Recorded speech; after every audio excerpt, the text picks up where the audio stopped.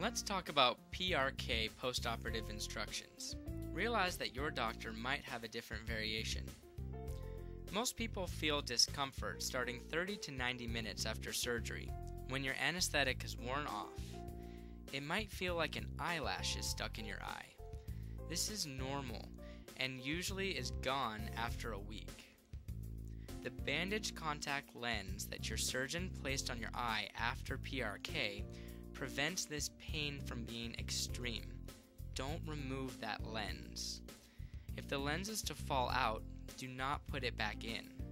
See your doctor immediately, and in the meantime, keep your eyes closed as much as possible.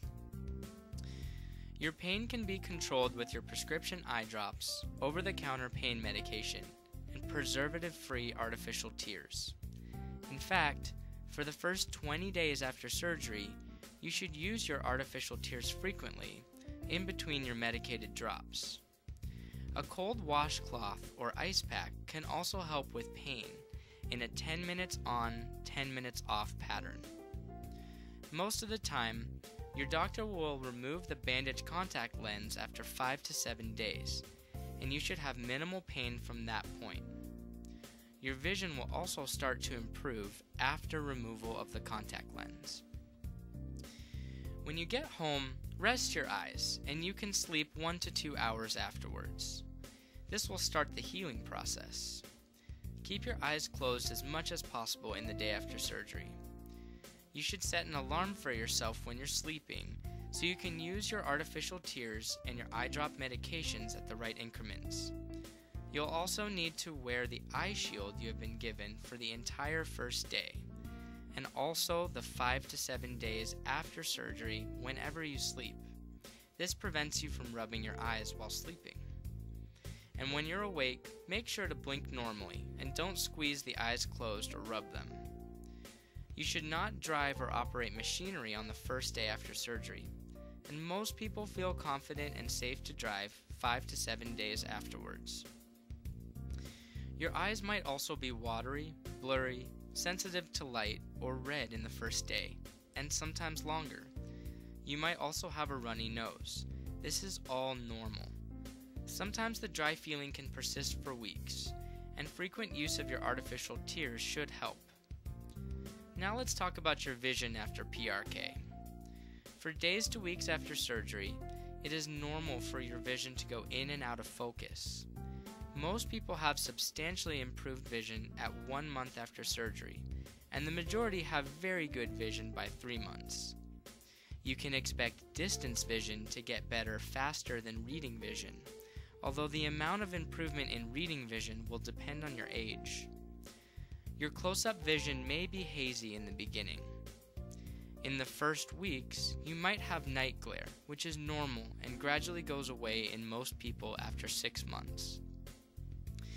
If it seems like your eye isn't healing correctly, or you are having persistent pain, redness, blurred vision, or discharge, you should seek attention of your physician. Infection is a rare complication of PRK, but it is the most serious problem to look out for. This is also why we ask you to return to clinic the day after surgery and in the days and weeks following. So, what can and can't you do after surgery? Here's what you can do. TV and reading are okay in moderation for the first few days. Sunglasses should be worn anytime you have exposure to the sun. You can resume your normal light exercise routine after two weeks, as long as it doesn't involve contact sports or risk to your eye. Contact sports and other activities which carry eye risk can be restarted one month after surgery. Most people can return to work after 3 to 4 days. Here's what to avoid. Keep water out of your eyes in the shower or bath for one month. Avoid drying off your eyes by rubbing or bumping with a towel. Don't swim or go in the hot tub for one month. Don't use makeup or aftershave for one week. And stay away from dirt and dust. Don't forget about the medicated drops you were given after surgery. You should take these drops exactly as they are prescribed and according to your doctor's instructions. You may begin putting them in 4 hours after surgery, unless instructed otherwise by the doctor. They will sting a little bit. You'll want to use these medications 5 minutes apart from each other so you do not wash one drop out with the other.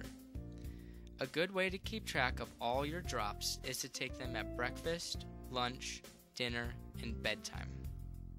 Lastly, be sure to adhere to your follow up appointments with your physician.